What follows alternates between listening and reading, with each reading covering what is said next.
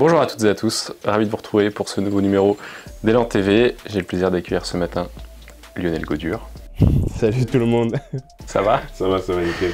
Euh, on se le fait en français ou tu veux en anglais? Ouais, français. c'est Français, parfait, très bien. Euh, Lionel, on va revenir sur la victoire à Levallois, évidemment la semaine dernière, importantissime, euh, qui nous avait battu en plus euh, au match aller. Et c'est la première fois depuis début octobre qu'on enchaîne deux victoires de suite. Comme tu l'as dit, euh, victoire, euh, victoire importante pour le- l'objectif qui est du, maintien, du coup. Euh, c'est vrai qu'on on a préparé ce match-là comme il le fallait, dans le sens où on avait quand même la mesure de ce match. On savait que si on se ratait sur celui-ci, ça pouvait nous mettre dans, des complications pour la suite. On savait également que cette équipe-là nous avait battu là-bas au match aller. On les avait pris un petit peu de haut.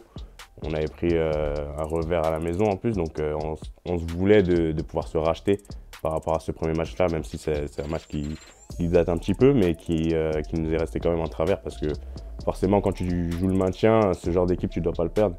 Et en l'occurrence, là, on a pris le match au sérieux et on, a ramené la victoire et c'est ce qu'il fallait. Et en plus, on gagne avec on dire nos deux leaders, que sont Antoine et Ali, qui, qui ont été plutôt euh, discrets en termes de, de scoring et de reste sur, sur ce match-là. Il y a, il y a Ryan qui a, fait un, qui a fait un gros match, Olivier qui a, qui a apporté aussi du, du scoring. Il y a, d'autres joueurs qui se sont mis en avant sur, euh, dans, cette, dans cette rencontre, c'est important ça Ouais, ouais, c'est c'est vachement important dans le sens où euh, ça montre qu'on peut compter sur tous les joueurs en fait. Euh, on ne doit pas s'attendre à chaque match euh, à ce que Antoine fasse un super match pour gagner, que Ali fasse un super match pour gagner. Alors oui, on compte sur eux, forcément, c'est les, les joueurs majeurs de cette équipe, mais euh, tu vois, un mec comme Ryan, comme Olivier, ça prouve que, voilà, que les mecs travaillent, les mecs sont prêts quand le coach demande à ce qu'ils soient sur le terrain. Et moi, ça me fait plaisir aussi pour eux parce que c'est mine de rien, c'est une récompense aussi de leur travail de l'ombre, entre guillemets, parce qu'ils bossent énormément à l'entraînement. Et donc, euh, victoire importante avec d'autres éléments qu'on n'a pas l'habitude de, mettre en avant. Et euh, ça, nous a, ça, nous a, ça nous a marché. Donc, euh, franchement, c'est une grosse victoire, une belle victoire. Et je suis content pour l'équipe et pour les joueurs en, particulier comme Ryan et Olivier. ouais. Lionel Samo, il a dit en conférence de presse on a gagné les matchs qu'il fallait cette année. Alors, il y a peut-être des matchs où on a des on parlait de la défaite au match aller, notamment face à Levallois par exemple. On se dit peut-être que si on avait gagné un ou deux matchs de plus, on pourrait euh, lutter pour les, pour les playoffs. Est-ce qu'il y a des, des regrets dans l'équipe aujourd'hui? À 12 victoires, on va considérer que le maintien est quasiment acquis, même si idéalement il en faudrait une de plus encore. Mais est-ce que vous avez des, des regrets euh, de pas être plus haut aujourd'hui peut-être? Alors, euh, on en parle entre joueurs. Euh, c'est vrai qu'on en a. On va pas se cacher parce qu'on est des compétiteurs. Et euh, on se rend compte en fait finalement qu'avec peut-être 2-3 matchs entre guillemets qu'il fallait prendre surtout à domicile, qu'on aurait pu prendre en plus, ben, on se rend compte qu'on aurait peut-être pu jouer les playoffs. On se rend compte vraiment de ça. Donc euh, oui, forcément c'est un peu frustrant. Maintenant on peut pas réécrire l'histoire. On, a gagné les matchs importants comme euh, le coach le dit. On peut pas refaire l'histoire, mais en tout cas, on sait que euh, l'objectif, il risque d'être euh, atteint, et ça, c'est quand même une fierté quand même. On, en- on enchaîne avec Nanterre euh, donc samedi, on continue dans la, dans la semaine euh, parisienne, le mois parisien même, parce qu'on va avoir Paris le, le 30 avril. Euh, Nanterre, il marche sur l'eau en ce moment de- depuis la Leaders Cup, à part, à part le, le match à Paris où ils ont perdu largement. C'est une équipe qui nous a battu à l'aller, cinquième du championnat, gros morceau à venir, avec en plus pour toi des, des profils d'intérieur qui sont à l'opposé de toi, c'est-à-dire assez grands, longilignes.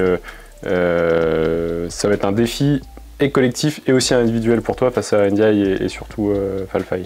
Ouais, ouais, c'est euh, une grosse équipe, grosse équipe qui a démarré le championnat un petit peu au ralenti, mais on savait très bien le potentiel qu'ils avaient. À la preuve, aujourd'hui, ils sont cinquième. Euh, c'est des joueurs à gros, gros potentiel euh, individuellement. Et, le pire, c'est que chaque joueur euh, sait, euh, où, se mettre dans cette équipe. Euh, on voit quand même qu'ils ont une cohésion, je ne vais pas dire parfaite, mais qui, fonctionne très bien. Chaque joueur sait ce qu'il doit faire, chaque joueur sait ce qu'il doit apporter. Et je pense que c'est ce qu'ils font qui, réussissent cette année.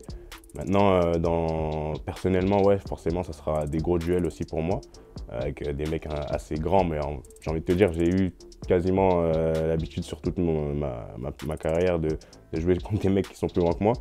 Mais euh, c'est pas quelque chose qui, me dérange, au contraire, c'est un défi, encore un autre. Et euh, hâte, d'être au match hein, pour pouvoir prouver qu'on on peut rivaliser contre euh, ce genre d'équipe-là. En plus, on à la maison. J'imagine encore qu'on va peut-être faire un, guichet fermé. Donc on aura les supporters pour pouvoir nous pousser, ça c'est une bonne chose. Donc on va essayer de se faire plaisir, jouer avec beaucoup d'intensité et pouvoir prendre ce match à domicile, ça serait cool. Est-ce qu'il y a une forme, est-ce que tu penses qu'on va être peut-être un peu plus libéré, euh, notamment contre ce, genre d'équipe. Contre qui on a un peu galéré cette année, parce qu'à part la victoire contre Lasvel, on, est, euh, on a perdu contre euh, tous les autres mm. matchs contre le, top 5. Est-ce que maintenant qu'on a gagné les deux matchs qu'il fallait gagner, tu sens qu'il peut-être se passer je pense, que, je, pense que ça peut nous amener sur une bonne dynamique, dans le sens où là, on a quand même deux matchs, de, deux victoires d'affilée. ça ne nous arrive pas souvent. Et du coup, je pense que ça peut nous faire du bien. Je pense que oui, indirectement, les, tensions entre guillemets sont, seront plus là. Donc ça peut nous libérer sur le terrain, ça peut nous permettre de, jouer peut-être différemment et même mieux. À voir, euh, on va pas parler trop vite non plus, mais euh, je pense que ça peut être de bon augure pour nous.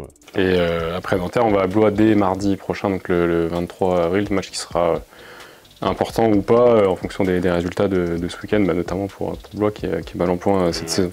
Donc Lionel, le match aura lieu donc samedi à 18h30 euh, donc face à Nanterre, on l'a dit. Et on sera à 97 jours du début des Jeux Olympiques. Et donc euh, pour l'occasion, on aura bah, tout un tas d'animations dès 17h sur l'esplanade. Il y aura du breakdance, du hip-hop, un DJ. Il y aura de la réalité virtuelle avec euh, la FNAC qui est aussi sponsor des, Jeux Olympiques. Il y aura des petits jeux avec la sécurité routière. Bref, de quoi vous amuser. Des frites, des hot dogs, des sandwichs, des gaufres, des boissons. J'ai donné envie là.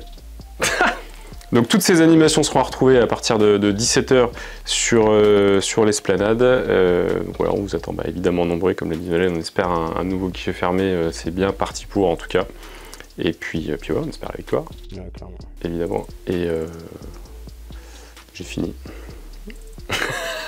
Et donc dernière info aussi avec euh, cette équipe de Nanterre, c'est le, retour euh, de Iba Falfay quand même qui a été formé euh, à Chalon, de Bastien Pinot, notre ancien joueur, et ce sera aussi donc l'ADER au Colisée de, Pascal Donadieu qui a annoncé prendre sa retraite. Et on espère bah, qu'il repartira pas avec la victoire, évidemment, même s'il y a beaucoup. Voilà.